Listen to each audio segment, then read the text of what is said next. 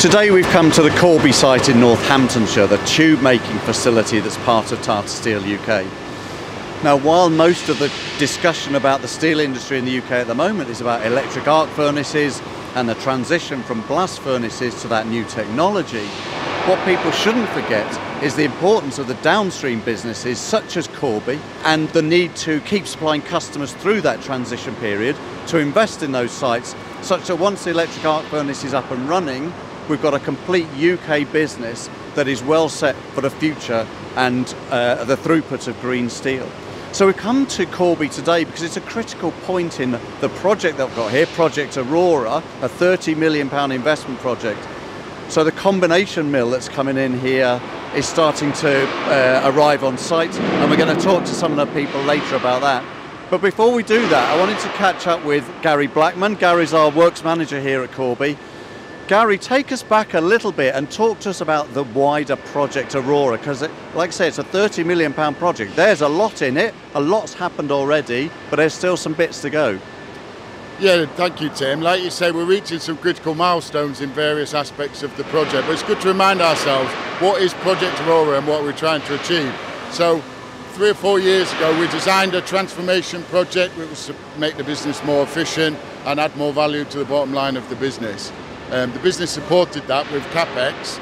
Um, so we run through what, what's involved in Project Aurora, so you'll see behind us a brand new warehouse. So we've gone from a stack on the floor, load with crane operation, to a stack on racks and a side loader operation.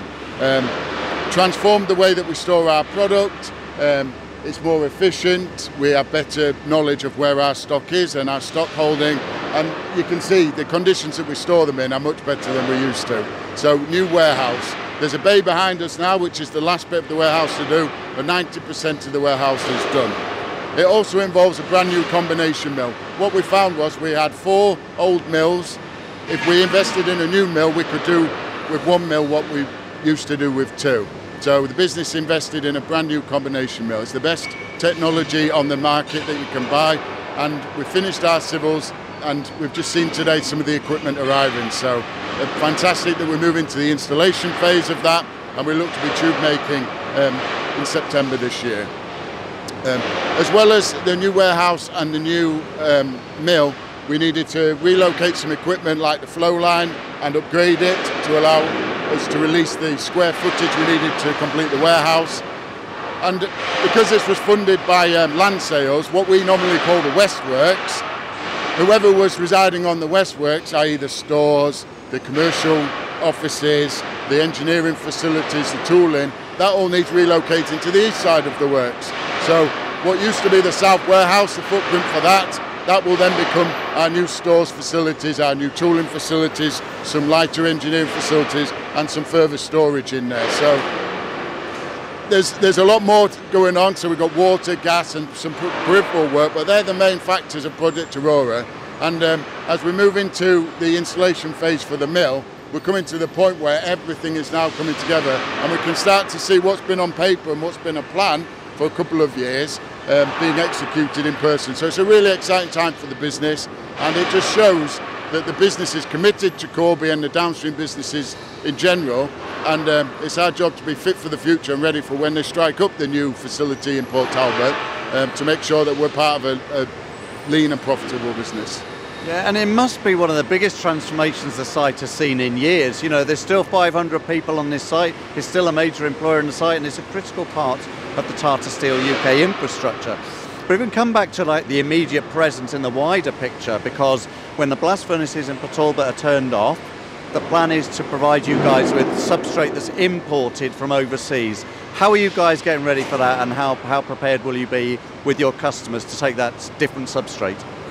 So obviously we've got the um, transformation plan for the business and there's a transition period in there. So we've been working on this for a while. I mean, one of the benefits of being part of a wider organisation is we're getting a lot of support from our, our sites over in Enel and over in India. So we've been taking some of their coil, we've been trialling it through our processes and feeding it into our customer base. And as it stands today, we're not having any issues and we're fully confident that we can we can rely on that support to get us through the transition piece until the electric arc furnace is turned on and we can be a fully UK integrated supply again. Yeah, and if I come on to that, because how exciting, it must be tremendously exciting to see the site here change before your very eyes. Um, but when the electric arc furnace starts providing you with low CO2 steels, how transformational will that be for for you from a market perspective, from a customer perspective, in terms of the sustainability of the whole site? It's fantastic to see, Tim. So Project Aurora is circa 30 million investment. Um, the site's gone through peaks and troughs through the cycle, and um, there's been times when the future was quite concerning for the workforce and the community, I guess. I think when you're spending monies like 30 million pounds, it becomes a more positive place to work and a more positive atmosphere. So on top of the 30 million for Aurora, which is a transformational project, we also have our green steel project, circa 20 million pounds. So basically it's a fuel switch from natural gas to electricity, get your electricity from renewable sources, then you become, become an end-to-end net zero manufacturer. However, the key to net zero is in the coil. Yeah. So when, when the electric arc is switched on and we do get some of the greenest coil delivered to us that is made in the world, and we have a net zero manufacturing site, we'll be offering the greenest tubes available in the world. Yeah, listen, it's a fantastic story, Gary, and we're going to go and see some of the guys who are putting the combination mill in later. You know, wherever you walk across this site in Corby, you see things that are progressing and changing. They are becoming more sustainable.